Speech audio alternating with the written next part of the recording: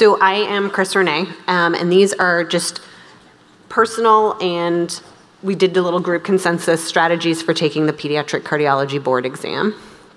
So our objectives are that we are going to explore strategies to optimize your board performance um, exam, on the exam, reflect on test taking styles that are going to work best for you, and how to make adaptations when you're taking the real test in real time, and then a few sample questions. Thanks, Chris, uh, and uh, thanks again for having us. Uh, uh, one of the more important aspects of taking any test is actually first knowing how you learn and how you approach questions, and it's actually very personal, very individual. So first of all, I would like to just to think for a second, to reflect about how you learn, how you read questions, what's your usual approach to things, because many of us are largely visual, but a good number of us may be auditory. But in general, you're a pediatric cardiologist. You probably are both, uh, one of them being dominant.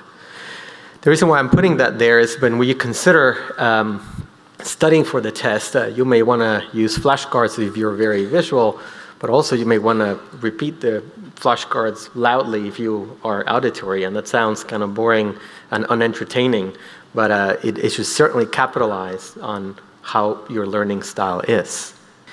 I think that uh, a session about how to take a test uh, could go on very briefly, and uh, I prefer to think of it in this uh, in this way.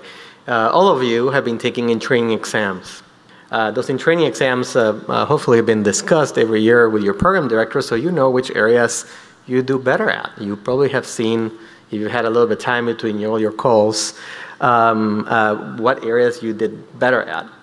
I don't think as a general rule, though there's no real data in pediatric cardiology about what is the cutoff, sort of what, what you need to um, make it through the boards, I think that one would say if you're being scoring 70s in the training exam, you're likely to do well.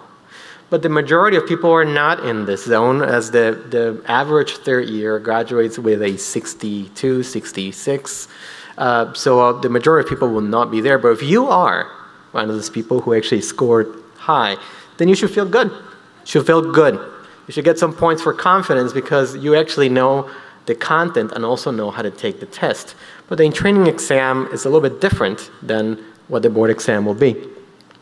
But if you if you're not one of those people who score high, and I would say that I fell into one of those. Uh, I wasn't a high scorer of the training exam. Um, then maybe a method will be helpful, and we.